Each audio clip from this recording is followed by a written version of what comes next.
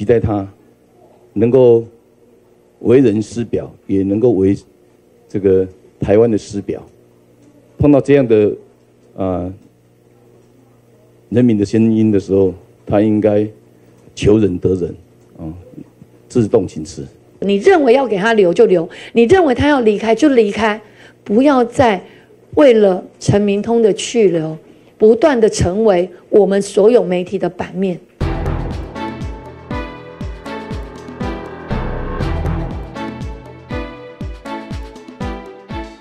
呃，陈明通局长，呃，最近有人要求他下台嘛？那陈伟伟怎么看陈明通局长？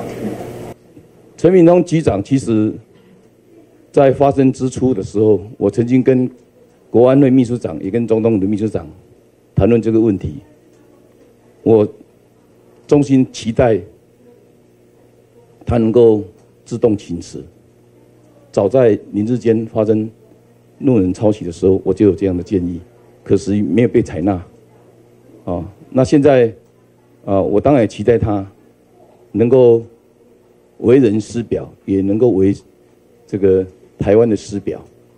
碰到这样的啊人民的声音的时候，他应该求仁得仁，啊，自动请辞。其实地方会觉得说。这样子的一个去留问题，一直讨论，一直讨论，被媒体一直不断的讨论。其实说真的，对我们的执政也是伤。该怎么做，就一次说清楚。你认为要给他留就留，你认为他要离开就离开，不要再为了陈明通的去留，不断的成为我们所有媒体的版面，这是不应该的。